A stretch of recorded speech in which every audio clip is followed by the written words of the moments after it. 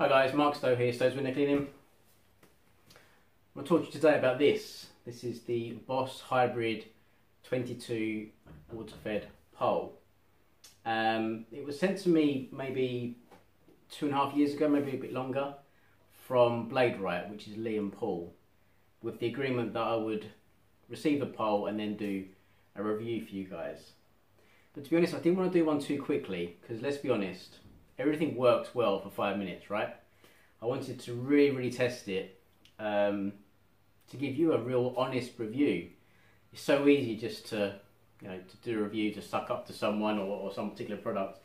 But I want to give you an honest review, and I want to do Blade Right the justice they deserve, because quite frankly, it's been a mega pole. It's only a 22, like I've said, so it's only a small one. I'm quite a small guy. I use it every day, every day, all day, unless it's for, for higher properties, then I'll get out my slightly larger pole. Um, so yeah, two and a half years I've been using this. And in that time, of course, it's not brand new. It's been worn. You know, the, the branding on the outside has been worn off and the stop marks on the pole, each individual section of the pole has been worn off. But in terms of its function, it still works really, really well.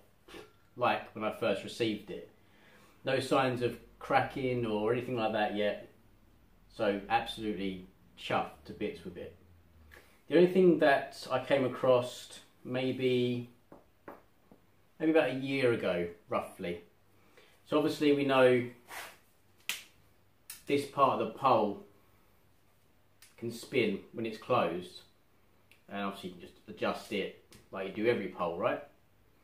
But I found over time, so probably about 18 months of, of daily use, this part was moving on this part of the pole. So I thought, okay, maybe it's now time for the version 2 clamps. So the guys at Blade Right sent me out the version 2 clamps and I was going to fit them. I was literally in the process of fitting them and I took the clamp off. I was like, hmm, there's nothing in between the clamp and the pole. And what I mean by that is like going back to my automotive days, when you'd want something to fit tightly or create a nice seal, you'd have some sort of gasket or washer or something. I was like, I'm going to try something before I put the V2 clamps on. So I literally just got some like black insulation tape. I did, took the clamp off, did one loop around the pole. I didn't overlap the tape at all. And then just put the clamp back on. That was a year ago, if not longer. And it still works perfectly fine. Because my thinking was, well, if it just wears out after a month, just replace the tape and off you go. But it still works. I haven't replaced any of the tape on any of the clamp sections. So I'm super, super chuffed with that little um, modification, would you like? Just but for me, it felt like there should be something there because there would be on, on any other thing else you would sort of create.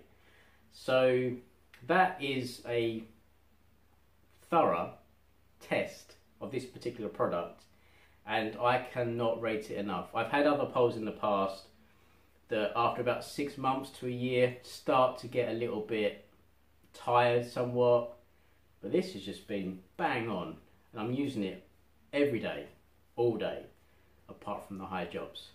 So quick shout out to the guys down at Blade Right. Thank you very much for this. It's uh, going to do me a few more years yet.